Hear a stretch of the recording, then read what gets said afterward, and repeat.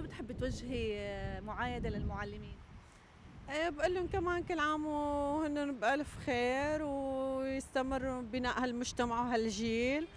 وابدا ما يتضايقوا من هالظروف يعني كل البلد عم بتمر بظروف ويضلوا يعني يشتغلوا بضمير مثل ما عهدنا إنه هن المعلمون بنات حقيقيون مثل ما قال الرئيس الراحل حافظ الأسد. يعني المعلمون بنات حقيقيون يستمروا على هذا بناء جيل بأكمل يعني. يعني لسه بحاجة المعلم والأم. بعيد المعلم بتمنى يرجع للمعلم مثل ما كان أيام لما كنا نتخبى لما نشوفه. كنا نتخبى من طريقه لما نشوفه لأنه كان له قيمة. المعلم آه، له مكانة كثير كبيرة بالمجتمع وهو اللي عم يساهم بتربية هالأجيال.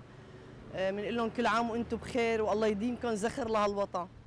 طيب هلا نرجع بالزمان لورا. في شيء أستاذ بتتمني ترجعي تلتقي فيه كنت تحبي مادته؟ والله كل أساتذتي بالابتدائي بتمنى أرجع ألاقيهم.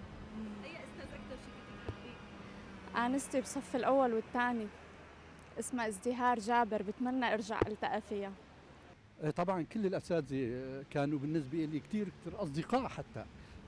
كلهم بعرفهم وكلهم بتذكرهم وكلهم مدرسين من المرحلة الابتدائية بتذكر لك اسمائهم واحد ورا من الصف الأول. كل سنة شو مين علمني؟ حتى هلا أنا متقاعد وأنا مدرس. في أستاذ عربي اسمه عدنان سلوم. الله يوجه له الخير. أي صف كنتي بالبكالوريا تحبي يرجع الزمن وتلتقي فيه مرة ثانية يا ريت. يمكن بس هو الله يرحمه. والله أستاذ الفيزياء. إيه. بالبكالوريا الله يرحم اللي راحوا أول شيء.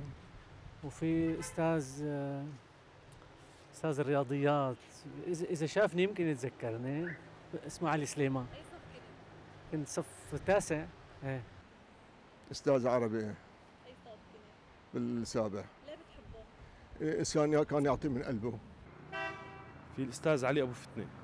أي صف كان يعطيك؟ كان يعطيني رياضيات بصف الثامن والتاسع